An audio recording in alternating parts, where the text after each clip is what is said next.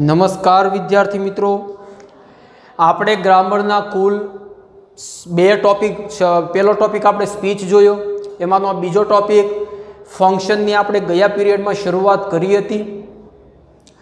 ચાર જેટલા ફંક્શન આપણે ચલાવેલા હતા. હવે પછી આપણે પાંચમા નંબરનું ફંક્શન લેવા જઈ રહ્યા છીએ. પણ એ પહેલાં આપણે ચાર ફંક્શનની આપણે રિવિઝન કરવાનું છે. તો આ જે ફંક્શન છે એનું જો રિવિઝન કરવું હોય, તો તમારે જ મેં તમને ગયા પીરિયડની અંદર હોમવર્કમાં કીધું તમારે જે ફંક્શન છે પાકી બુકમાં વ્યવસ્થિત લખી નાખવાનું. હોમવર્કમાં હું આપું છું. તો તમે જે ચાર ફંક્શન છે પાકી બુકમાં લખાવેલા છે, એની અંદર તમે ધ્યાન રાખો અને હું તમને અહીંયા ચારે ચાર ફંક્શનનું એક વખત રિવિઝન કરાવી દઉં.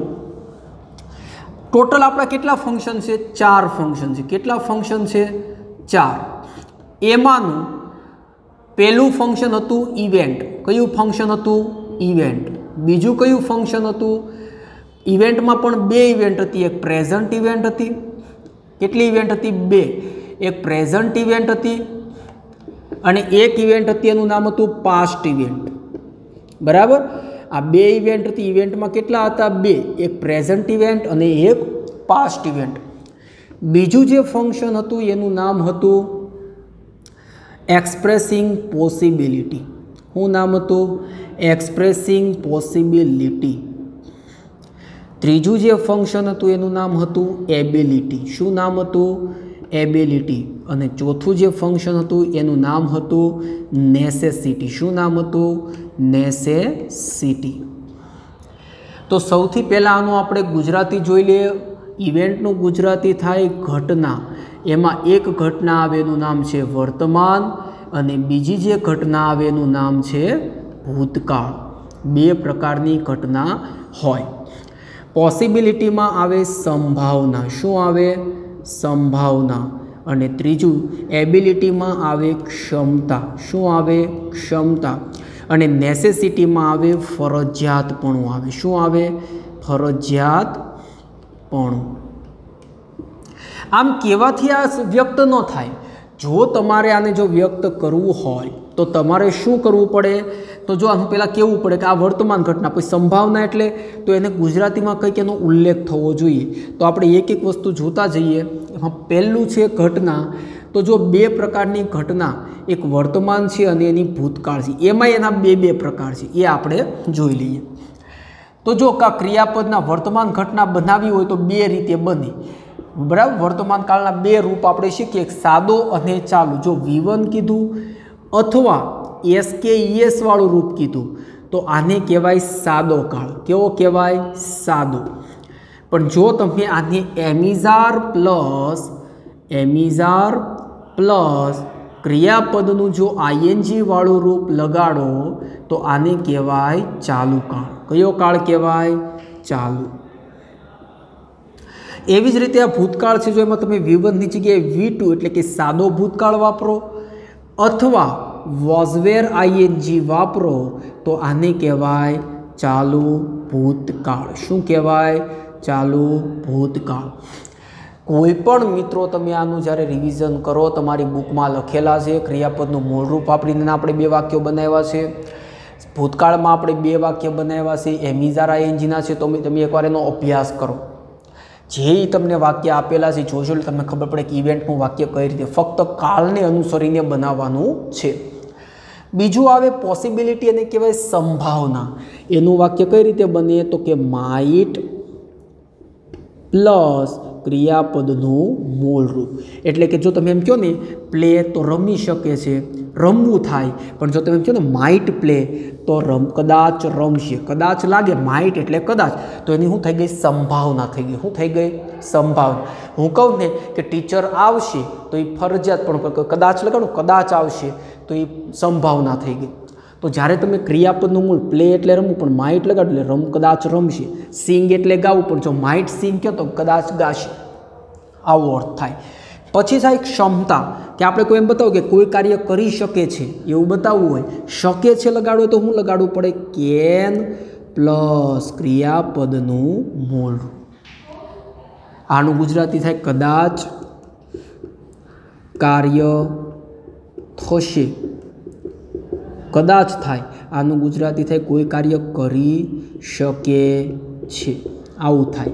અને તમારે ફરજિયાતપણું દર્શાવવું હોય ત્યારે મેં ત્રણ વસ્તુ શીખવાડી હતી. હેવ ટુ હેઝ ટુ અને મસ્ટ આની સાથે ક્રિયાપદનું કેવું રૂપ આવે? આની સાથે ક્રિયાપદનું મૂળ રૂપ આવે. કેવું રૂપ આવે? ક્રિયાપદનું મૂળ રૂપ. આવી રીતે તમે કોઈ પણ વાક્યની સંભાવના વ્યક્ત સોરી ફરજિયાતપણું વ્યક્ત કરી શકો. દાખલા તરીકે હેવ ટુ પ્લે એટલે રમવું પડશે. હેઝ ટુ પ્લે એટલે કોઈ કાર્ય કરવું પડશે. મસ્ટ પ્લે એટલે તમારે રમવું પડશે. ટૂંકમાં have to has to must બધાને ગુજરાતી એક જ થાય છે. પણ એનો મતલબ તમારે વ્યક્ત કરવો પડે.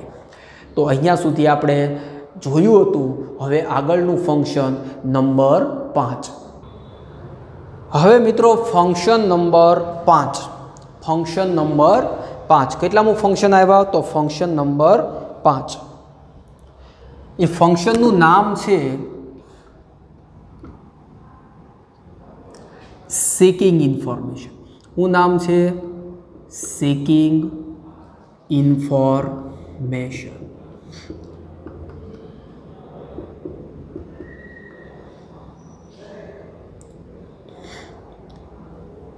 જો આનું બીજું નામ કેવું હોય? ધોરણ દસની અંદર સીકિંગ ઇન્ફોર્મેશન પણ લખેલું આવી શકે. અને ધોરણ દસમાં એનું બીજું નામ કેવું હોય તો ઇન્ક્વાયરી એઝ નેચર પણ કહી શકાય.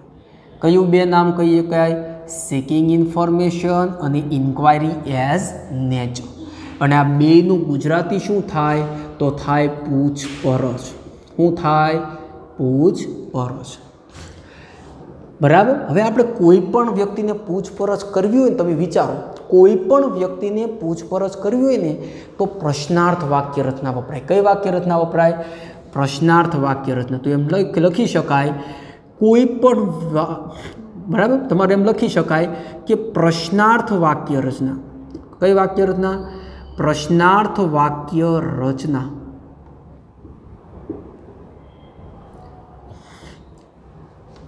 નો ઉપયોગ કરવાથી, પ્રશ્નાર્થ વાક્ય રચનાનો ઉપયોગ કરવાથી પૂછપરછ થાય. શું થાય? પૂછપરછ થાય. ટૂંકમાં પ્રશ્નાર્થ વાક્ય વાપરવું પડે. તો હવે જો મિત્રો, પ્રશ્નાર્થ વાક્ય રચના માટે એક સરસ મજાની ટોપિક છે આપણો ડબલ્યુ એચ અને હાવ.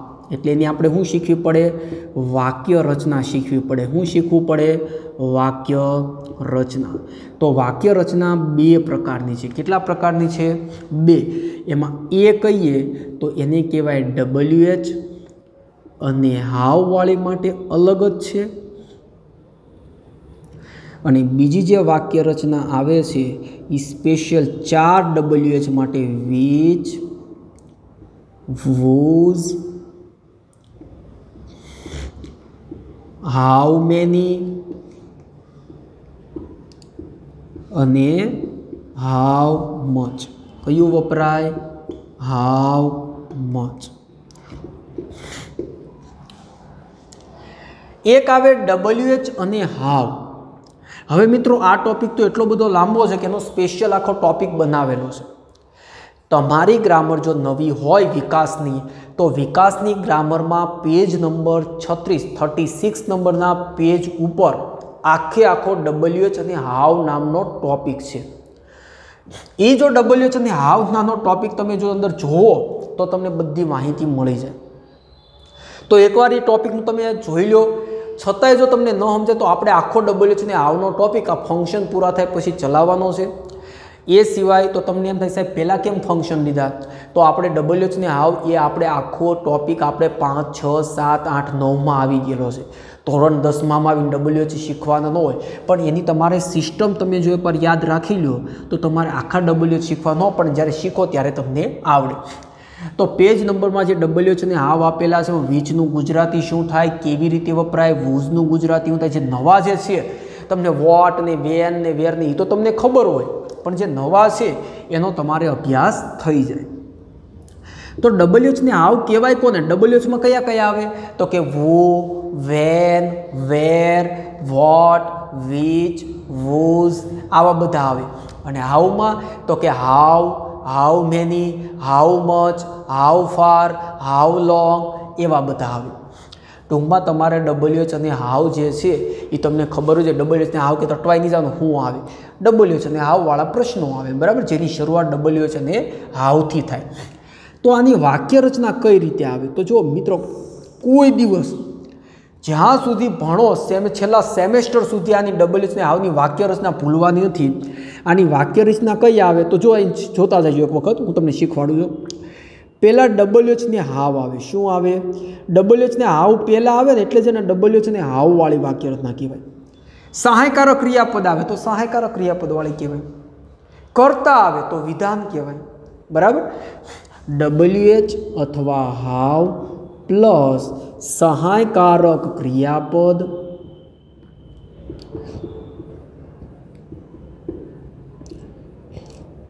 અને પ્લસ કરતા. ક્યારેય ભૂલવાનું નહીં. ઘણા આખી વાક્ય રચના યાદ આખાને ક્યાં જરૂર છે? વોટ આર યુ પછી તમને ખબર છે ડુઈંગ આવે. વોટ આર યુ ડુઈંગ મિત્રો, એક વસ્તુ ખાસ ધ્યાન રાખજો. ડબલ્યુએચ અને હાવ સાથે હંમેશા સહાયકારક ક્રિયાપદ જ આવે. સહાયકારક ક્રિયાપદ વાળી ડબલ્યુએચ સહાયકારક ક્રિયાપદ વગર ડબલ્યુએચ અને હાવ બને જ નહીં. સહાયકારક ક્રિયાપદ વગર ડબલ્યુએચ કે હાવ એક પણ બનતા નથી. ફરજિયાત તમારે ડબલ્યુએચ અને હાવ વાપરવું પડે. સહાયકારક ક્રિયાપદ વાપરવું પડે ડબલ્યુએચને હાવ બનાવવું હોય તો. તો સહાયકારક ક્રિયાપદ કયા કયા તો હું તમને અવારનવાર બોલું છું, તમે એવું હોય તો લખી નાખો. જ્યારે હું બોલું ને ત્યારે હારે બોલીને પ્રેક્ટિસ કરવાની. એમ ઇઝ આર સહાયકારક ક્રિયાપદ પદ કોને કહેવાય તો કે am is are was were have has had do does did shall will should would can could may might must આને કહેવાય સહાયકારક ક્રિયાપદ. ડબલ્યુ આવ સહાયકારક ક્રિયાપદ પ્લસ કરતા. તમને જો આ વાક્ય રચના યાદ ન રહે તો બે ત્રણ વાક્ય યાદ રખાય. તમને કે વોટ આર યુ ડુઈંગ આપણે ઘણીવાર બોલતા તો what are you doing what is your name what is your name when will the train arrive train ક્યારે આવશે? When will the train arrive આવડે કે ન આવડે? એકાદ બે વાક્ય યાદ રાખી લો, તોય તમને વાક્ય રચના યાદ રહે. એની સિવાય બીજું આવે which whose how many how much જ્યારે તમને આવું કંઈક અલગ લખાય તો તમારા મનમાં સો ટકા પ્રશ્ન થવો જોઈએ કે આટલા બધા ડબલ્યુ છે ને આને કેમ તમે અલગ રાખ્યા? કેમ આની વાક્ય રચના અલગ રાખી? આવો પ્રશ્ન મનમાં થવો જોઈએ. તો હવે મિત્રો વીચનું ગુજરાતી થાય કયું, કયો, કઈ? બરાબર? ટૂંકમાં પસંદગી દર્શાવે. હું દર્શાવે પસંદગી. વૂઝનું ગુજરાતી થાય કોનું, કોની, કોનું એ ટૂંકમાં માલિકી દર્શાવે. શું દર્શાવે માલિકી.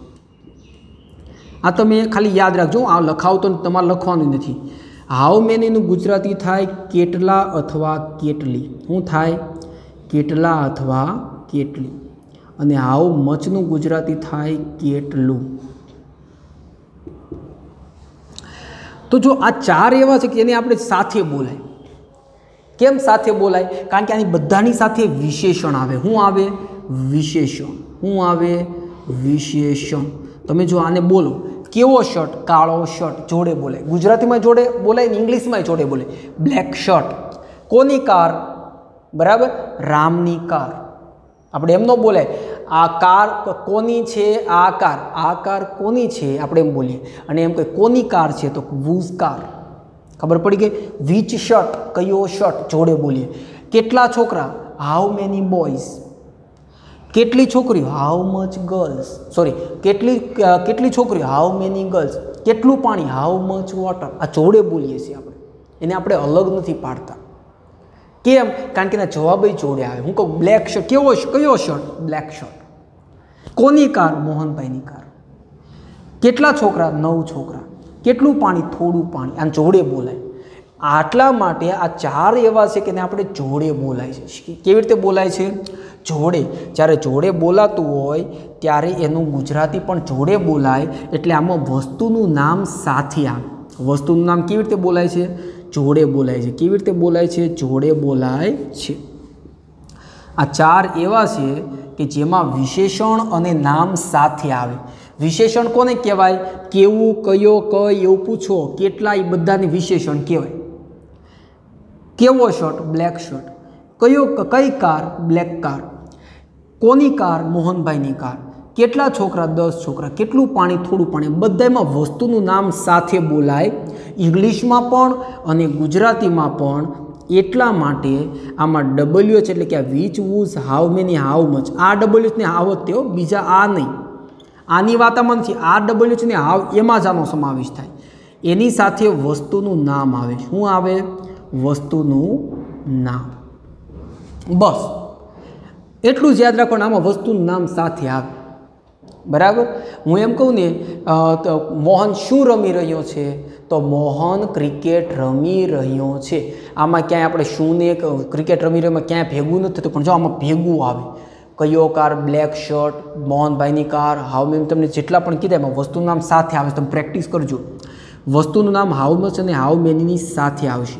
તો તમારે આવું મનમાં નહીં રાખવાનું વસ્તુનું નામ સાથે. તમારે બોલવાની પ્રેક્ટિસ કરવાની. Which shirt do you like which car do you like whose house is that whose car is that? How many girls are there in the class? How much water is there in the glass? તો મિત્રો વસ્તુનું નામ તમારે practice જ કરવાની, સાથે લેવાનું. કેટલામાં? ફક્ત વીચ વૂઝ, હાઉ મેની અને હાઉ મચમાં પછી આની આ વાક્ય રચના સહાયકારક ક્રિયાપદ અને પ્લસ કરતા.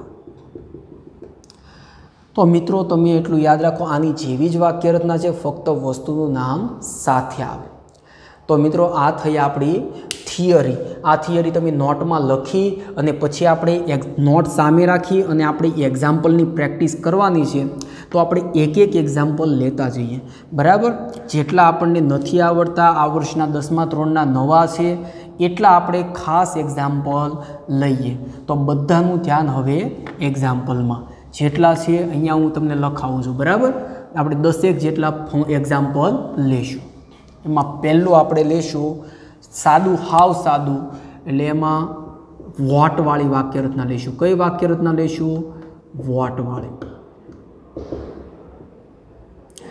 આપણને પહેલાં પૂછેલું કઈ રીતે? કઈ રીતે આપણને પરીક્ષામાં પૂછાય? તો તો જો તમને આમ આપી દીધું હોય, વોટ. પછી તમારે આખું વાક્ય જાતે બનાવવાનું. પછી કદાચ તમને એમ આપી દીધું હોય કે વેન. પછી કદાચ તમને એમ આપી દીધું હોય વેર. કોઈ પણ ડબલ્યુ આ બધાને ડબલ્યુ જ કહેવાય. પછી તમને એમ આપી દીધું હોય વાય. પછી જો તમને ખાસ ધ્યાન રાખો, પાંચ, છ, સાત અને આઠ. એ તમને હું જોડે લઉં છું. કેમ? કારણ કે વીજ, વોઝ, હાઉ મેની અને હાઉ મચ. આ થયા આઠ આપણી સાથે.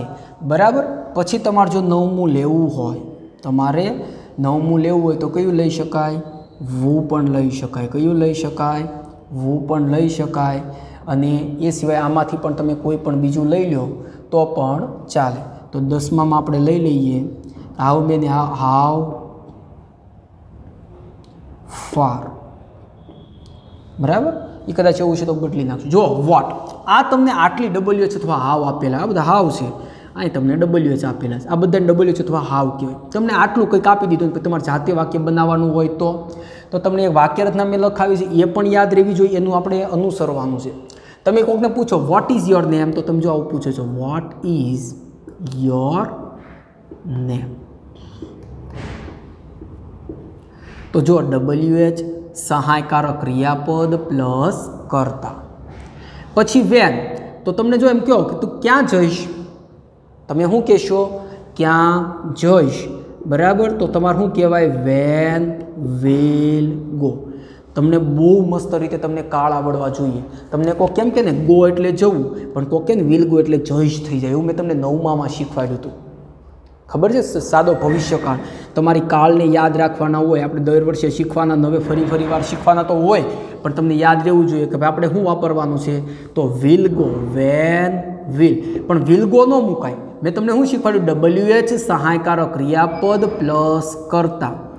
તું ક્યાં જોઈશ? તો વેન વિલ યુ ગો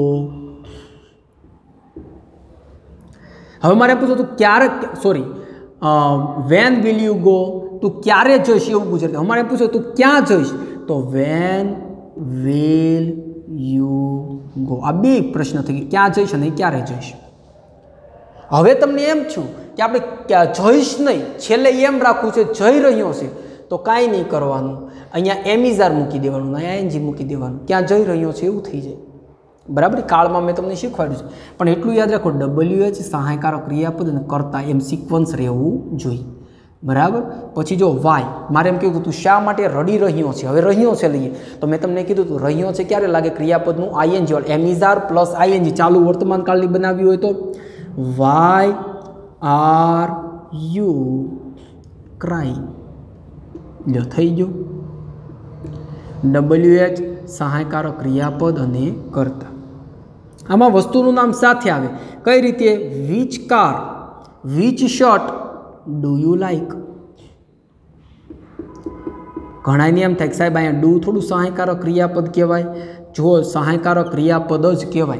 હું તમને બોલાવરાવું છું. Am is are was do does did shall will should would કે તો આને શું કહેવાય? સહાયકારક ક્રિયાપદ. વસ્તુનું નામ સાથે આવી ગયું. Which car do you like whose house કોનું ઘર?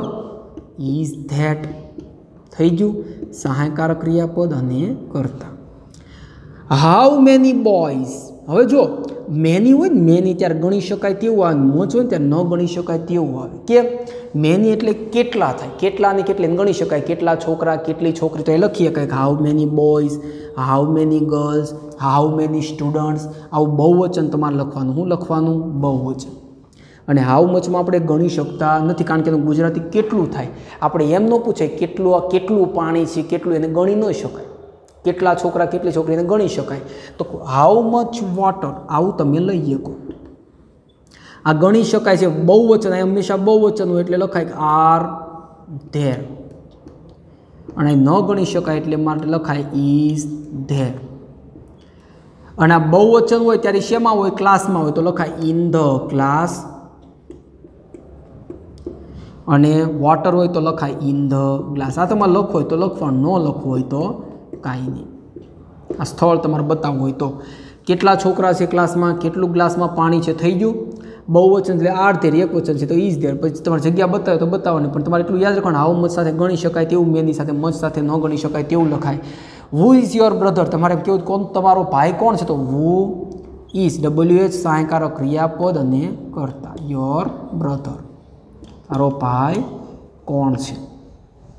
બરાબર? પછી આ વાક્ય તમારે આ રીતનું ડબલ્યુએચમાં નવ્વાણું પોઈન્ટ નવ ટકાનો પણ બનાવો તો બનાવી શકાય કે how far is Ahmedabad from Vadodara? વડોદરાથી અમદાવાદ કેટલું દૂર? પણ આ તમારે ડબલ્યુએચમાં આવે ને બનાવો તો બનાવી કે how far is Vadodara from Ahmedabad પણ આ તમારે એટલા બધા અટપટા વાક્યો આવશે નહીં. તો મિત્રો, આ થયા તમારા ડબલ્યુએચ. તમે આની વારંવાર પ્રેક્ટિસ કરશો તો જ તમને આવડશે. આની સાથે કાળને પણ તમારે અનુસરવું પડે. ડબલ્યુ એચ એટલા માટે પહેલાં નથી લીધા, કારણ કે મારે કાળ પણ તમને પહેલાં શીખવાડવો પડે. તો અહીંયા સુધી મિત્રો આપણે ડબલ્યુ એચ એટલે આજનો જે ટોપિક છે એમાં આપણે ફક્ત ઇન્ક્વાયરી એઝ નેચર રાખીએ. તો હવે તમારા મિત્રો હોમવર્કમાં શું કરવાનું છે એનું હું તમને લખાણ કરી દઉં. તો જો મિત્રો, પહેલાં તમારે ગ્રામરમાં જો વિકાસની ગ્રામર હોય જો જૂની કે નવી નવી ગ્રામ, ગ્રામર હોય તો પેજ નંબર છત્રીસ ઉપર છે. જો જૂની ગ્રામર હોય, તો જૂની ગ્રામરની અંદર તમારે અનુક્રમણિકામાંથી ઇન્ડેક્સ આપેલી હોય, એમાંથી તમારે ડબલ્યુએચનો ટોપિક કાઢવાનો છે. એમાંથી ડબલ્યુએચનો ટોપિક કાઢો એટલે તમને ચૌદ જેટલા ડબલ્યુએચ જોવા મળશે. કેટલા ડબલ્યુએચ જોવા મળે? ચૌદ. ચૌદ હોય અથવા પંદર હોય એ મને ખબર, પણ તમારે જે કાંઈ ડબલ્યુએચ છે તો હોમવર્કની અંદર તમારે શું લખવાનું છે? એકવાર જોઈ લો મિત્રો. હોમવર્કની અંદર જો મિત્રો પહેલું, અંગ્રેજી વિષયમાં ફંક્શનની અંદર જો હોમવર્ક છે એમાં, તો જો આજનો જે ટોપિક છે, આજે મેં જે તમને ચલાવ્યું છે, આજે ચલાવેલો આજના વિડીયોમાં આપણે એમ લખશું, આજના વિડીયોમાં ચલાવેલો ફંક્શન ફંક્શનમાં આપણે શું હકાયું છે? ફક્ત ઇન્ક્વાયરી એઝ નેચર આ જે ચલાવ્યું છે, આજના વિડીયોમાં ચલાવેલું ફંક્શન એટલે કે ઇન્ક્વાયરી એઝ નેચર તમારે શેમાં લખવાનું છે? પાકી બુકમાં જેમ રોજ લખો છો, એમ પાકી બુકમાં એકવાર, કેટલી વાર? વ્યવસ્થિત રીતે બધું એકવાર લખવાનું છે, બરાબર? હવે બીજું મુખ્ય કામ આવ્યું છે, બીજું મુખ્ય કામ એ છે તો કે તમારી ગ્રામરની અંદર, હું કહું છું જો ગ્રામરમાં